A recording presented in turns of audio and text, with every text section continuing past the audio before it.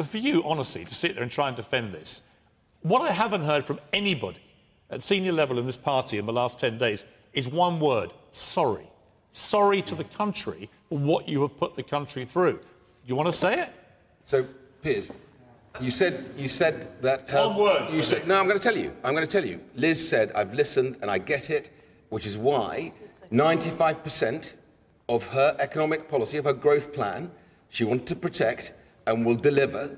Right, the stuff we've just talked about. But are you sorry cutting about the taxes, damage that's been done? And, and, the, and the 5% that was damaging, Yeah. she cut, and as Wilfred said, you cut and you move forward. Indeed. We've got 24 One- months to deliver. word. But Piers, no, hold a second. Hold I a think second. the public I'm going to tell you right apology. now, if you give me a chance, Sure. what, ask yourself this question. What would Vladimir Putin want us to do? He wants to be divided right now because he's please. using energy. Oh, come on. Because he's using Come on, energy. come on. Absolutely. Oh, wait, come on. You can't say sorry because Vladimir no, Putin no, may not like no, it. I Nadhim, said to people, you. Nadhim, people are laughing. Well, hold on a that. second. Uh, Hold on a second. know, I I'll just want to point that out. Really? Do you not believe that Vladimir Putin is using energy, which is where the inflation is coming from, where countries around the world are having to raise What interest Nadhim, rates? With respect, what does Right. this have to do with a simple apology to the I British just people to- I just for, the, for the train wreck that has happened in I the last 10 days? I just said to you, Liz, in her conference, we said, I get it.